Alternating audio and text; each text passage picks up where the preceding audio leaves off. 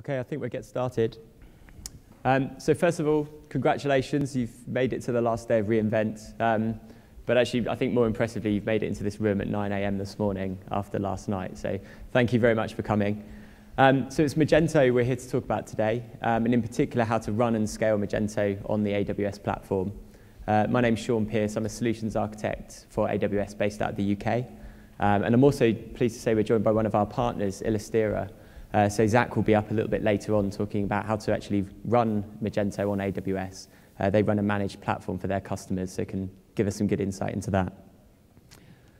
So what's the, what's the goal of today? Um, so as I was putting this together, it, it became pretty simple. So I've previously managed operational teams that have looked after e-commerce platforms and other web properties. Um, and I know how painful it is when these things don't work, when they don't scale, when they're not highly available, you're up at night putting in fixes, you're uh, waking up at 2 a.m. to kind of restart servers and all this kind of stuff. Um, and it's, it's not a very nice place to be. So the goal of today really is just to allow you to go away with some practical tips and techniques that you can hopefully implement on your platforms. Um, and really just make running Magento boring, right? This is, this is the ultimate goal. We don't want it to be exciting. We want it to be a very boring thing. Um, just a quick show of hands. So who's actually using Magento on AWS at the moment? Okay, good, few of you. So keep your hands up if you never have any operational issues. It scales beautifully, it works. Yeah, one. That's cheating. Yeah. okay, so before we, um, before we get too much into the technology, I just wanted to start off by just sort of taking a step back, have a quick look at online retail and why speed is, is so important in the industry. So this, these um, numbers were taken from a recent industry survey that looked at the um, the relationship between page load times and consumer behavior on e-commerce sites. And it found that 40% of users would actually um, abandon a page if it takes more than three seconds to load. Um, and on top of that, nearly 80% of users would actually, if they're dissatisfied with site performance, may never come back again. So these two things combined, it means that if we have these kind of temporary performance issues on our sites, um, not only are we affecting sales that are happening now, but potentially kind of future sales as well. So very important we get this right. And of course, retail is a very seasonal business. So this is a typical traffic profile for Amazon.com in November. Um, you can see us really ramping up towards the end of, um, end of November as we get into peak season. Um, and actually, another industry survey found that um, industry-wide, sort of year-on-year e-commerce sales over the holiday period in 2013 were up about 12%. So kind of annual growth we come to expect in the industry. But actually, there was a huge 54% increase in what they called last-minute sh uh, shopping orders. And what they mean by sort of last minute orders are users coming in on the last possible day they can to make a purchase before delivery at Christmas. And so for me, that means as we, as we get better at the logistics that sit behind these e-commerce stores, users are, gonna, users are going to leave it to the last minute more and more. They're going to be more and more confident in leaving those orders to the last minute. So we're going to continue to see this kind of compounded growth going forward. And then the final point is the holiday season, we get a lot of notice for that, right? But what about the um, the email campaigns, the TV ads, all the other things that happen where we get very little notice or often very little notice, but obviously our sites are still, our sites still need to, to perform. So how do we address this with Magento? Um, well, let's, let's start off by looking at some of the challenges.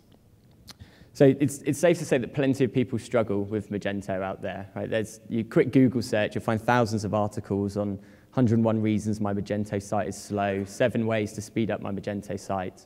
But for me, it's, it's really important that we sort of understand the underlying characteristics of the application. Why do people struggle? So that we can develop an architecture that, that addresses those and kind of mitigates those risks. So a couple of things that jump out at me. So the first thing we need to be aware of is this EAV data model. So the data model that makes Magento so flexible and why most of us use it um, also can really cause some performance issues. Um, Magento isn't a cloud-native application, right? It requires things like shared storage, and these can be challenging in a, a, dynamic cloud environment. And then lastly, we see a lot of customers that are you know, making use of the, the great community out there. There's lots of extensions out there that you can purchase or open source ones that you can download. Quite quickly add functionality to your Magento site, but you really need to be aware of what you're installing and what impact that potentially can have on performance. So what process should we follow then to take Magento and make sure that it, it meets our requirements? Um, so for me, what we need to do is start with a, a, stable base. So let's get something that's highly available, very stable, and use that as a foundation. And then we can look at that architecture. We can start to say, well, where's the bottlenecks likely to be? And we can iterate on that architecture. We can um, improve it. We can remove that bottleneck. And that, of course, will expose another bottleneck somewhere else. And we can carry on with that iterative process. And that's going to leave us with a, a platform that's highly available, but also very stable and can really scale to meet our needs. So what does that highly available base, that foundation look like? So this is what I'm kind of terming our, our minimal viable product for a Magento production implementation. Um, and we'll just spend some time just stepping through this. So the first thing you'll see, so we've deployed Magento onto multiple EC2 instances. Um, those instances sit in separate availability zones. And then we've got an elastic load balancer at the top there, which is distributing requests to those instances. So that, that's automatically much more available, much more stable than just a single instance. Um, we can use health checks on the load balancer to detect any kind of hardware or software failure on those instances and automatically um, only send requests to the healthy ones. Um, and actually here we've gone one step further. So we've wrapped those instances at the top there in an auto-scaling group. Uh, and this gives us a self-healing nature to the platform. So now if we have a hardware failure, a software failure, auto-scaling can kick in, it can detect that failure, terminate the instance, throw it away, provision a new one, and put that into service. So that's another thing we're not getting out of bed at 2 a.m. to kind of fix and, and do ourselves.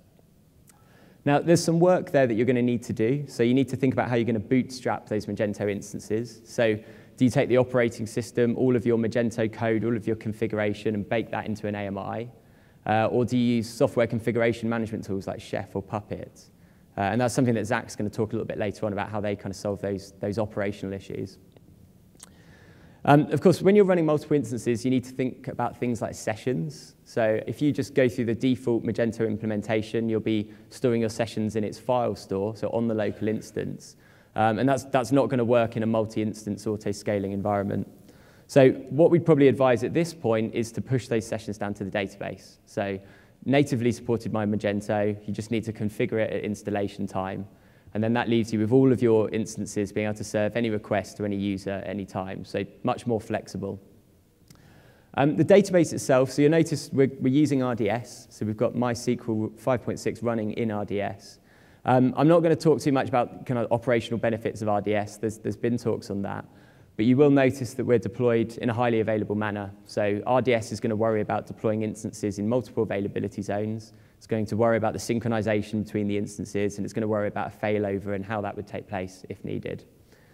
Um, at this point, it's probably also worth noting, so when we were developing this architecture, it was tested and we created it with uh, 5.6. Um, obviously, we've got Aurora now, um, so I'm very keen to start you know, testing that with Magento as well given the 5.6 compatibility, you know, I think we're going to see some, some great improvements there as well. But something you need to test as you get access on your platforms. Um, and then finally, shared storage. So you see here that we're running NFS on EC2. Um, I'm not, again, going to go into a huge detail about running highly available NFS stores. Um, one, it's, it's a talk in itself. Um, but also, as we look to evolve this architecture, so as we go through this presentation, we're going to look at alternatives to NFS and how we can hopefully remove it completely. If you are interested, then um, there was a great talk by one of my colleagues last year at reInvent 2013, so NFS CIFS options for AWS. It's available on YouTube, so do check that out. It goes through um, how to run your own NFS services, as well as having a look at the, van, uh, the vendor landscape out there as well. Okay, so back to our architecture. So we've got that high availability now. We can deal with hardware failure. We can recover. Um, we've got a solid platform. So we're going to see more traffic. Hopefully, we've got a popular e-commerce site. Um, as that evolves, we're going to see our first bottleneck. Um, and where that is will depend on your application, it depends on your code, it depends on how your users are going to interact with your store. But actually, more than likely with Magento, it's going to be a CPU constraint in Magento itself.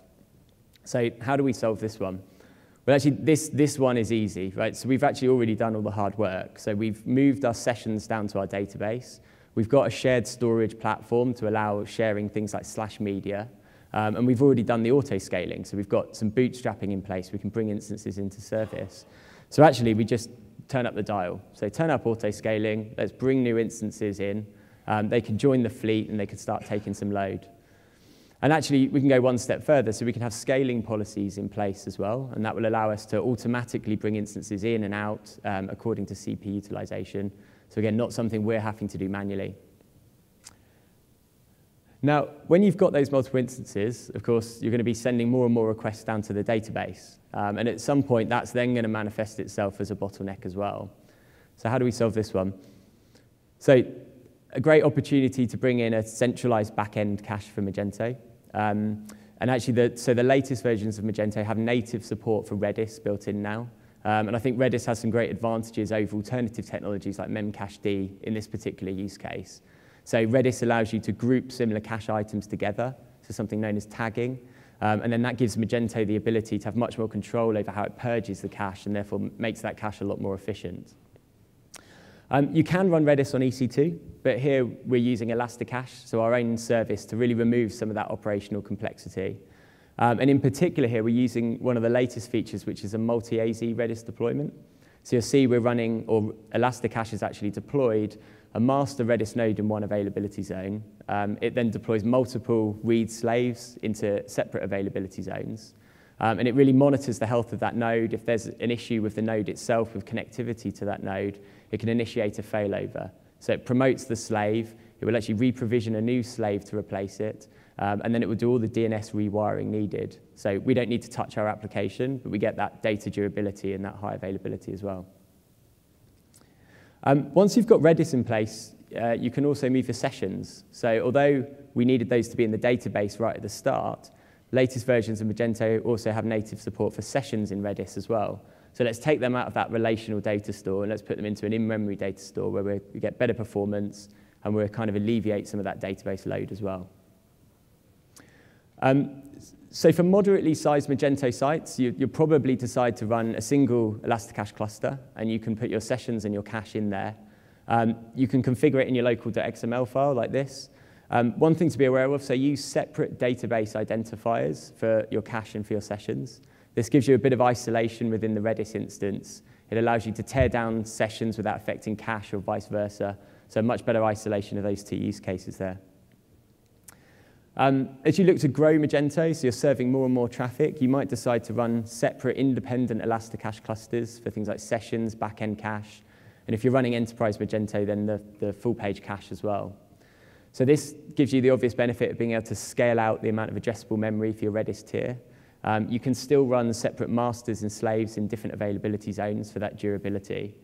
Um, but it also gives the ability to further isolate your, your different use cases. So now you can tune the way you're using ElastiCache. You can run different node sizes for different use cases, um, get faster or slower CPUs for different use cases. So, so really tune the way you're using it. Okay, so we're back to the architecture. So we've got that caching in place now. Um, but what about those operational scenarios where we need to clear cache? Um, we all try and avoid it. We don't want to do sort of mass evictions of cache, but there may be big breaking deployments. There may be um, big different changes to your data structure that require you to essentially clear out the whole cache or, or the majority of it. So when that happens, you've got a cold cache, you get a stampede down to the database. All those requests that were hitting cache are now hitting your database. And again, you're going to see this become a, a bottleneck within those times. And we really need an architecture that allows us to do that. We don't want to be scared of clearing cache. We need to be able to kind of survive those kind of operational scenarios. So one way of solving this is to introduce read replicas. Um, so RDS provides uh, sort of one-click deployment of read replicas into multiple availability zones. Um, and Magento can support read replicas just by kind of adding the endpoints into your local.xml file. Uh, one thing to be aware of, so if you're running custom extensions, do be aware of how they're going to deal with read replicas. So do they honor the read replicas? Do they, how do they deal with the asynchronous replication lag that you, you're going to see, even if it's just you know, a few seconds or less than that? Um, again, with Aurora, we're going to see significantly reduced replication lag with read replicas, so I think that's something that's really going to help, but definitely something that needs to be tested. So at this point, we can scale out our front end further. So you see we've added more front end instances. We've got a data tier that now can, can serve more content. So we can run more Magento instances and serve more, more pages to the end users. Now, the thing to remember here is that for every page we're now serving, we're potentially also going to be serving three, four, five, multiple images, and all of those images are coming from that NFS server. So again, at some point, NFS is going to become that bottleneck. Now, you can scale up NFS. You can run a faster EC2 instance with more network bandwidth. You can have provisioned IOPS on the EBS volumes. Lots of things you can do there. But actually, at this point, I would consider using Amazon S3 to start to serve some of that content. So S3 has been designed for near linear scalability. So it's a great platform, not just to store the content, but also to serve static web content directly to end users. Now, once you've got that working, you can also introduce CloudFront. So CloudFront is our content distribution network. Um, and that has, so 52 geographical POPs around the world. And this allows you to start store, uh, caching and serving that content from locations very close to end users. So again, that's going to lower the latency of those requests. And much quicker image loads really kind of increases the perceived performance of pages. It feels much snappier and more performant to users. Now, there are lots of extensions out there that help you to do this. So free extensions you can download that give you that integration. But a couple of things to be aware of. So the, the first thing is, is that they don't actually remove the need for shared storage altogether. So many of them will require some shared storage for your admin instance that you see in the bottom left-hand side there, to be able to share original images to the front-end instances that will then do a resize and upload to S3 on first request. So it kind of removes some of the, it removes NFS from that critical path, but it doesn't remove it altogether. Um, and that's one of the reasons, so I work with a number of customers at the moment that are developing their own extensions that can completely remove NFS from, from the architecture altogether. The way they do that, they follow a, a similar set of steps, and we'll, we'll step through those now. So the first thing that's going to happen is an admin user uploads an image to our admin instance, so a new, new image for a new product. What we want our extension to do is use our APIs to directly push that to S3, so no more, no more putting it on disk. Now, at some point, we're going to get our first request for that image, um, and that means that the front-end instance needs to go to the database and check whether that image is yet to be resized. If it hasn't been resized, it goes to S3, it retrieves the image, it can do the resizing, and then pushes those resized images back up to S3. And then finally, it stores that in the database, so it records the fact that the resize has happened. And now the next time an image, uh, a request for a page comes through with those images, we check in the database, we see the image is resized, and we serve the page up directly with those S3 URLs. So we're removing that need for NFS for, for media storage and serving. So a couple of things to take note. So the, the first one is when you're pushing content to S3 to actually serve directly, make sure you're setting appropriate cache control headers. So this is going to instruct the user's browser and the CDN, so CloudFront itself, to actually cache those images appropriately and in increase the cache efficiency. The other thing is you're going to need to serve these images over both HTTP, but also HTTPS for secure areas of the site. So if you're happy with serving under CloudFront's own domain, then you can use CloudFront's SSL certificates, just start calling over HTTPS and, and we'll serve. If you want to use your own domain, so let's say you know, images.mysite.com or something like that, then you need to upload your own SSL certificates to CloudFront, but again, something that, that's supported. Um, and then the last three points, so when configuring CloudFront, just make sure you don't pass through headers, cookies, or query strings back to S3. So this is static content. There's no need to dilute our cache by including those kind of things in the requests. And again, by doing that, we're more likely to serve from CloudFront and therefore increase the latency. Okay, so back to our architecture. So we've removed NFS now, we've removed that bottleneck, and this gives us the ability to continue to scale up those Magento instances. So more instances, load balance, serving more and more requests. Now, again, what you'll find is that as you do that, each one of those images will be serving repetitive content. So the same pages, the same product pages, the same catalog pages each and every time. So actually, to make this more efficient, why not add a cache in front of those Magento instances as well? Um, and here you'll see we're using Varnish. So Varnish is a great HTTP accelerator. Um, and the reason we select Varnish is it has such great support within the Magento community itself. So there are already extensions out there that help you to extend Magento to actually use Varnish. So it allows Magento to set appropriate cache control headers to tell Varnish what to cache and for how long for. Um, and it also allows Magento to purge the Varnish cache. So if certain events happen, like a change in stock control, we need to reflect that on the site as quickly as possible. And so Varnish, uh, Magento can actually purge explicit pieces of the Varnish cache very quickly. Um, on top of that, you also you, you're also going to have even greater um, support for Varnish within Magento 2. So looking at that product going forward, it's going to have inbuilt support for Varnish. You can actually produce VCL configurations straight from Magento. So it's, it's the right accelerator for this particular use case. Now, I'm not going to talk too much more about the integration with Magento and Varnish. I think do check out those extensions um, and test them with your sites, make sure they work. But what I do want to do is talk a little bit about how to successfully run a Varnish cache on AWS. Uh, and to do that, there's a few things you need to know about our, how our Elastic Load Balancing service works, and also about how Varnish has been designed and how it operates. So what we see here is um, a request coming into our platform. So if we see that we've got the, our customer, the end user on the left-hand side there, they're going to send a request into our platform. And the first thing that's going to do is hit an, an external Elastic Load Balancer. Uh, that load balancer will then distribute requests to multiple Varnish nodes that's doing the caching. In this diagram, we're just seeing one. And then from there, if the cache is cold or the, the cache item isn't there, Varnish is going to have to go and then request that from Magento. And you can see here it's going via an internal Elastic load balancer, so a second load balancing tier, and that load balancer will then be responsible for distributing requests to, to Magento. Now, when you create a load balancer, an Elastic load balancer, you'll be given a DNS name. And it's that DNS name that we expect clients to send requests to. But we expect a client to, to first of all resolve that DNS name. And if there are multiple IP addresses that are returned, then we expect the client to deliver round-robin load balancing to those different IP addresses. Um, and we also expect the client to obey the TTL. So if we're saying to re-resolve every 60 seconds, we need that client to re-resolve every 60 seconds and take into account any changes in that IP address space. And what this allows us to do is essentially scale the load balancing service on your behalf, depending on how much load we're seeing.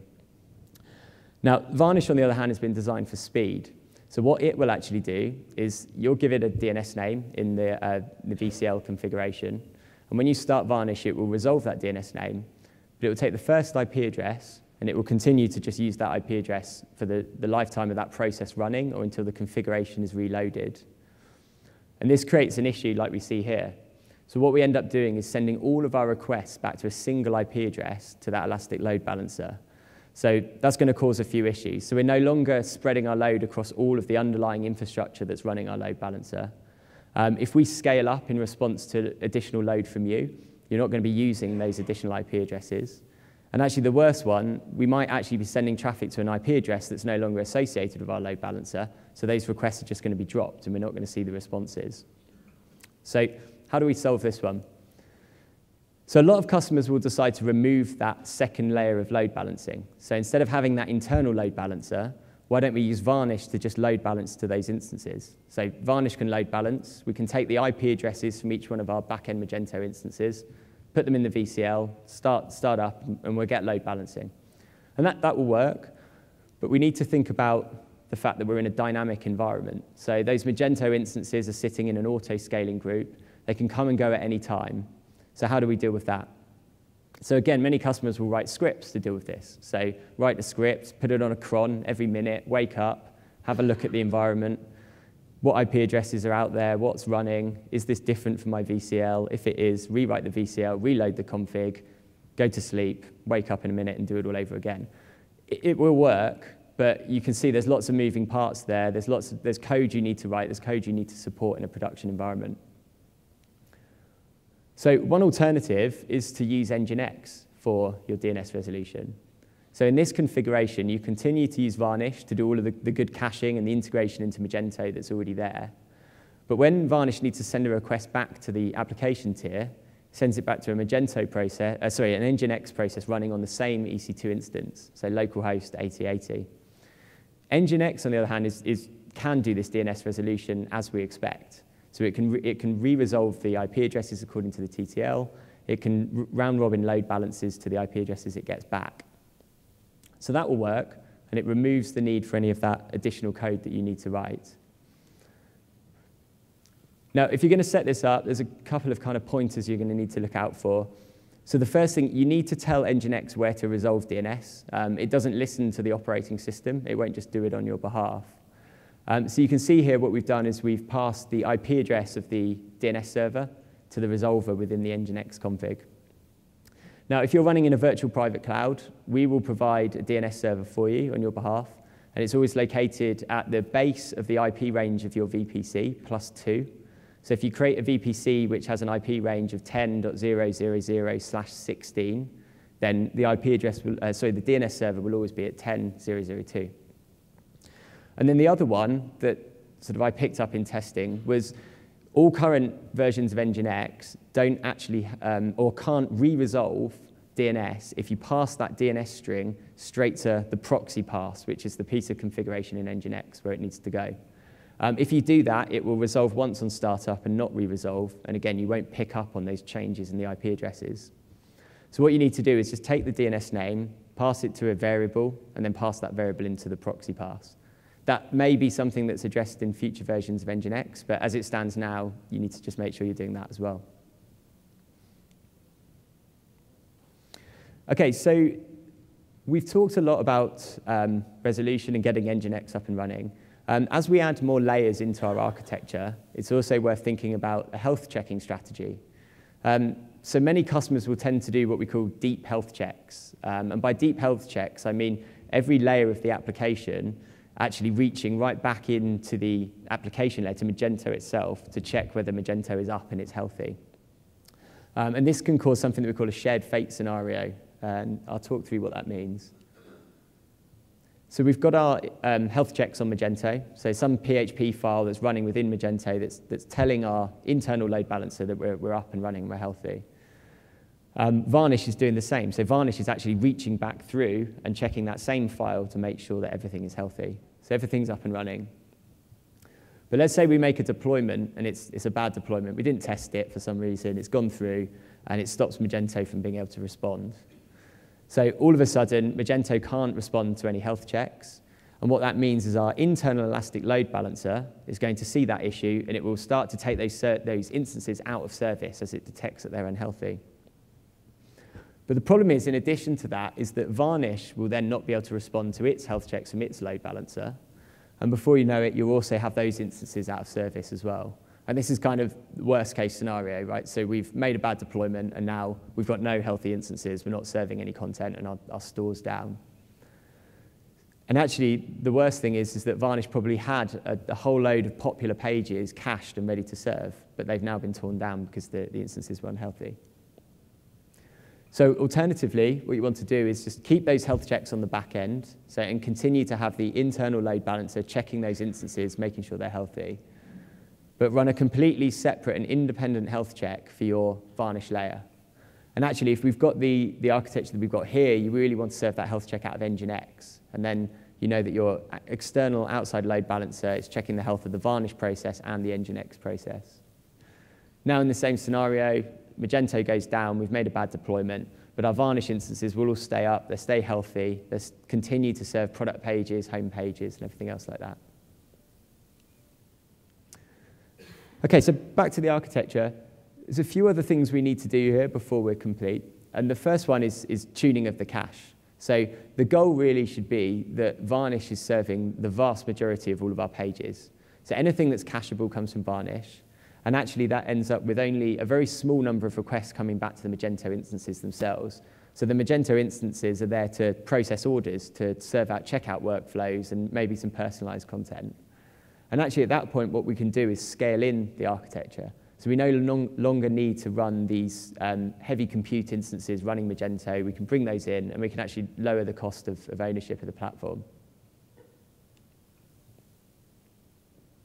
Okay, so that's all I wanted to cover from an architecture point of view. Um, thanks for listening. I know that, um, or we all know really, that, that designing a scalable architecture is only really half the issue. It's only solving half the problem. What we also need to do is have the operational tools and the processes in place to run it. So for that, I'm going to hand over to Zach. Thanks.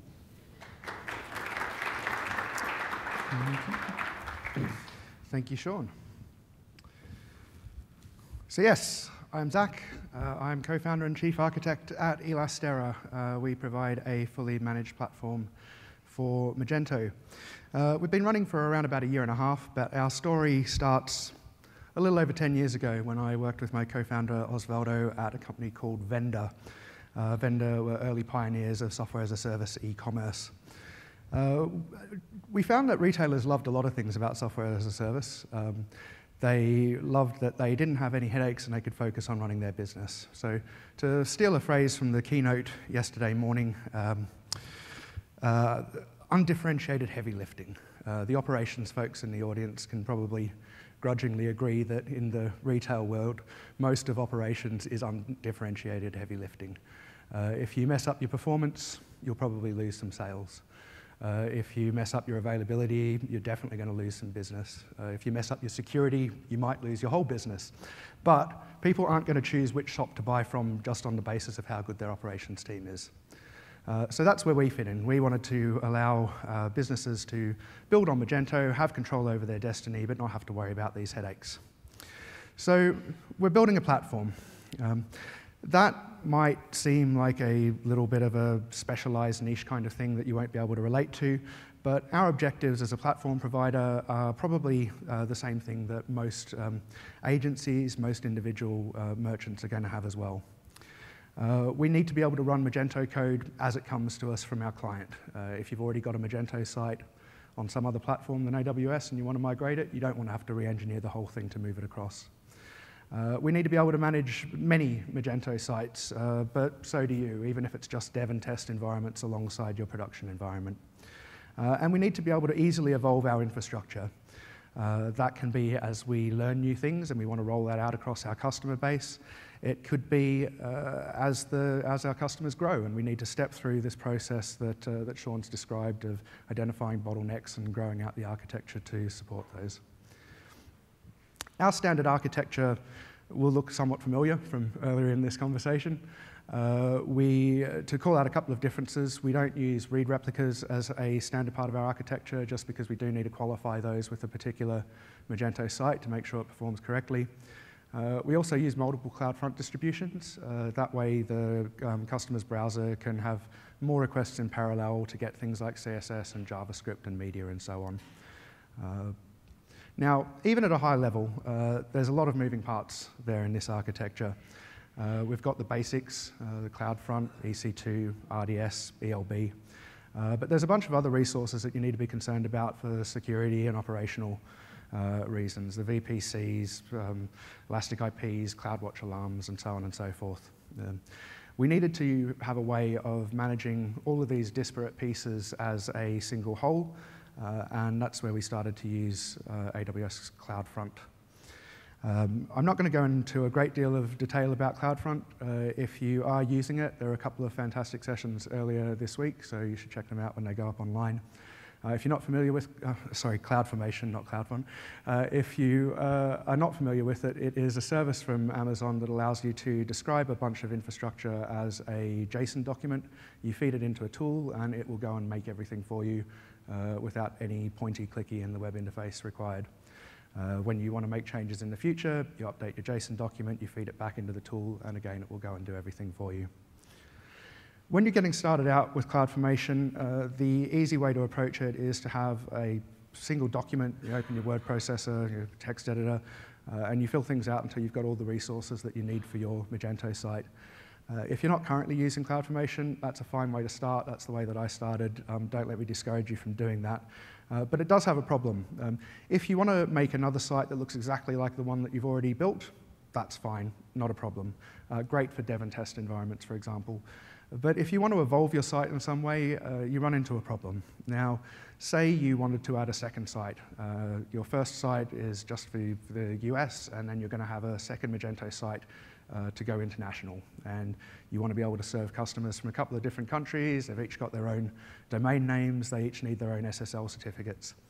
You can't easily use two different SSL certificates on one ELB, so you're probably going to need to have a, a slightly different infrastructure with two ELBs and different certificates. Now, if you put everything into one template, uh, the problem here is that you're going to have to copy that template, change the one part of it, and now you've got two different templates to maintain. And if you want to change one of the common parts, uh, you're going to have to cut and paste that, uh, that change into both pieces. Uh, it's not really great from a maintenance perspective, and obviously, uh, while it's a small problem the first time you do it, over time it becomes a big issue. Uh, instead, structure your, uh, your cloud formation into a number of different templates dealing with different concerns of your site. And that way, if you do need to customize just one layer, you only need to have one variation of the templates. Everything else can be the same, and you can go about your merry way. The other thing that is worth mentioning about CloudFormation uh, and infrastructure as code, uh, which is a term I'm sure you've all heard over this week, uh, is the way that it promotes quality.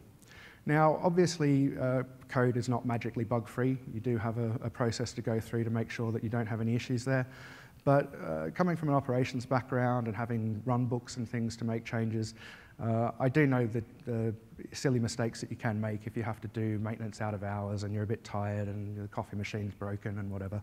Um, so by putting everything into code, you can avoid a lot of these kind of issues. And one of the examples that we found was when we were starting to run more recent versions of Magento, version, uh, the enterprise version 1.13 onwards and community 1.18 onwards, uh, is they started doing some more clever things with the, the database. They use triggers and views and so on. Uh, and by default, uh, RDS won't let you uh, create those when you come from a random MySQL dump from another platform. So we put these parameters into, into RDS, into CloudFormation, uh, we had to do that the one time when we first discovered it, and then we never have to think about it again. It's not a problem that's ever come back. So by putting the fixes into your code, uh, you only need to learn these lessons once. Um, auto-scaling is a really valuable uh, part of the AWS platform. Um, over time, uh, your load increases and decreases, and so you want to be able to spin up and tear down servers. But it's not always a, a gradual, uh, a gradual change in load. Um, when somebody's sending out a newsletter, you can see a great spike, like two times or three times the number of customers hit your site in a period of just a couple of minutes. That's the example that we're showing here. Uh, and what you'll typically find if you're not using auto-scaling is that the CPU utilization across your cluster is going to fairly closely track the number of visitors or hits on the site. Nothing really uh, particularly surprising there. Now, if we take 80% um, utilization as a bit of a proxy for where the performance on your site might start to degrade, uh, this is a problem. Um, you send out the newsletter and suddenly you've got a long period of degraded service. Just when you've spent a bunch of money to send customers to your site, they're having a bad time, probably they're going to leave. So you need to consider how quickly can you actually scale when auto-scaling needs to kick in. Uh, in this diagram, uh, the green part is what we get when we start up our instance. Uh, the orange part is what we do as runtime configuration. So if you're building a basic operating system from uh, Amazon Linux or, or, so forth and then adding everything at runtime, it can take you uh, some period of time to get everything up and running, perhaps 20 or 25 minutes. Uh, depending upon where you're setting your scale-up tr trigger, you might find that while auto-scaling helps you uh, minimize the amount of unhappy customers, it doesn't remove that, that consideration entirely. You can improve this situation a little bit by starting to bake some more of the software into your AMI. So build a custom AMI with uh, you know, your web server, PHP, any other tooling that you need. Uh, in this way, uh, we might find that it takes only five minutes to start up a new site, and so uh, we further reduce the period of unhappiness that, uh, that customers are going to have when they come to the site. Can we do better than this? Well, there's a couple of options. Um, one of them is to lower our scale-up trigger. Uh, and if you've got to deal with unpredictable spikes in load that, and you'd prefer to manage performance at the, uh, the cost of increased cost, that can be a good thing to do. But newsletters and other marketing activities are usually planned. Somebody in your organization knows what's going to go, uh, what's going to be happening. Uh, they can talk to you ahead of time, and you can scale up proactively. And if you do this, you're effectively using all of your resources without causing any unhappiness to your customers. Finally, I'm going to talk a little bit about deployment. Um, this is a section that I perhaps could have rewritten in light of uh, this week's announcements, but uh, if you're thinking about using the uh, deployment service, this will give you some thoughts about how you might want to go about implementing that for Magento.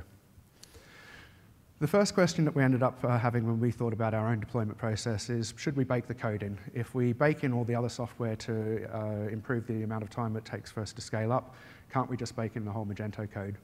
If you've just got one site, that might be a good option. Uh, obviously, it does mean that when you're deploying, you have to go through the whole process of baking an AMI, cycling your instances, and so on. We decided instead that we were just going to build a AMI that knew how to retrieve its code at startup. Uh, what we did, uh, in the same way that the deploy service works, is to decide that putting the code onto an S3 bucket was the way to go. So our deployment architecture looks something like this. Uh, We have a deployment server that coordinates our uh, deploy activities. We have an S3 bucket, which keeps the, uh, the Magento code in it. Uh, and obviously, we have our various stacks of, of infrastructure.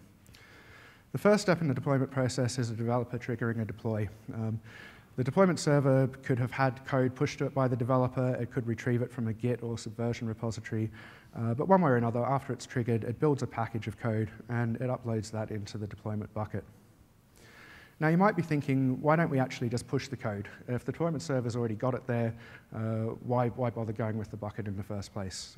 And there's a couple of reasons. Uh, one of them is it's a little bit more efficient. Uh, this way, the deployment server only needs to push the bytes around once. Otherwise, the network bandwidth requirement for the deployment server would be vastly different if we had two Magento servers running or 200. Uh, by putting things through an S3 bucket, it's constant. Uh, the other issue is that we need to deal with auto-scaling. Um, having the deployment server push things when a, uh, to a bunch of Magento servers that are running is all fine, but uh, when other servers start up, they need to be able to get the code from somewhere. The next consideration is the deployment server needs to know uh, where the Magento servers are running. Uh, if you're based on a physical platform, you probably know exactly what the IP addresses of your Magento servers are because they don't change very often. That's not something you can rely upon in AWS. There's a couple of ways that you can deal with this. Uh, the deployment service lets you uh, look at auto-scaling groups or it lets you look at tags on your EC2 instances. Those are both good ways to go. Uh, we use a system called uh, Collective, which has a publish, subscribe, message queue kind of thing going on. Uh, so the deployment server can broadcast out a message saying, uh, what are the live Magento servers, and get a list back. So that's what it does. The first thing it does, it sends out a message to all of the Magento servers for the environment it's deploying to, saying, go ahead and prepare the, uh, the code. The Magento servers download that from the S3 bucket, and then they unpack it ready for use. Now, the code's not live at that point. It's just sitting alongside the code which is live. That gives us an opportunity to deal with another problem, uh, which is Magento's upgrade scripts. Now, if you're familiar with uh, this process, Magento gives you a way of um, scripting updates to the site, things like schema migrations, adding attributes, and so on. Uh, the problem is that if you're running in a multi-server environment, particularly with a lot of load, uh, these scripts can run multiple times because Magento, on every single hit, will look at whether there's any update scripts to run. So what we do to avoid this is the deployment server first sends a message to the admin server saying, go ahead and running, run any pending update scripts now.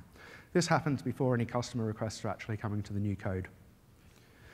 After the update scripts have run, uh, we send another request, uh, another message across to all of the Magento servers to say, go ahead, switch over to the new code. Now, at this point, if you're using the uh, Magento's merging features for CSS and JavaScript, uh, new versions of those files are going to be created. Uh, this is because Magento uses the full path to the file uh, when it's constructing the hashed file name. Uh, so it's something to be aware of. If you're going down the road that, uh, that Shaun has uh, talked about and that we use to push all of your media assets onto S3, you'll need to have some kind of mechanism of pushing these merged files up as well. More generally, you're going to want to be able to uh, either avoid purging objects from the CDN or, uh, or otherwise dealing with um, stale objects on the CDN. Uh, one way recommended by CloudFront is to put a version number uh, either in the file name or into the directory name. Um, this is something that uh, you can do in Magento by setting the base skin URL and the base JavaScript URL for each of your storefronts uh, to include the version number that you're deploying.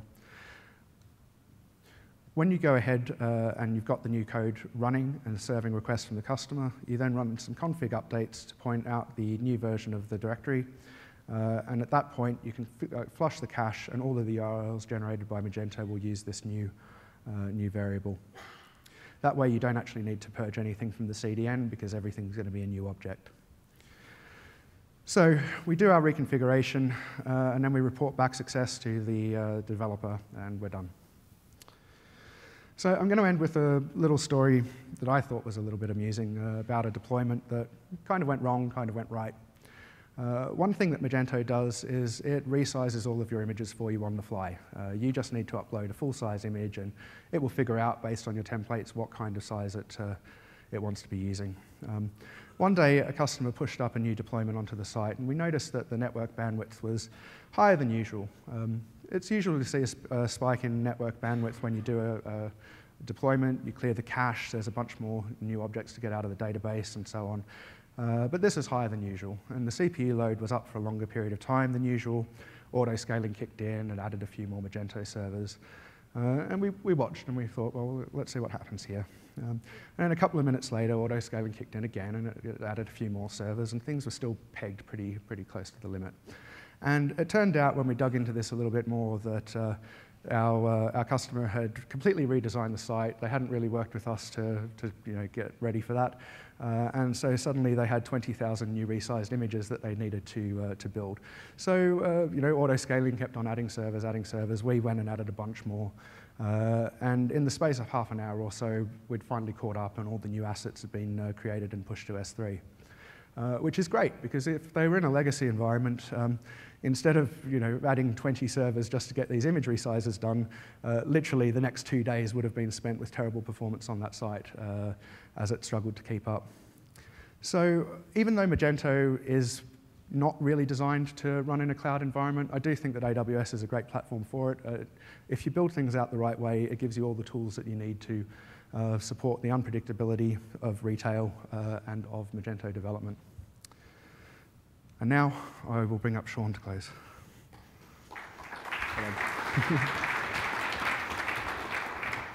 yeah, so thank you very much for coming. Um, just encourage everyone to, to please do fill out evaluation forms. Um, and also, Zach and I will be out for questions just in the hallway, so please do come and grab us. Thanks very much. Thank you.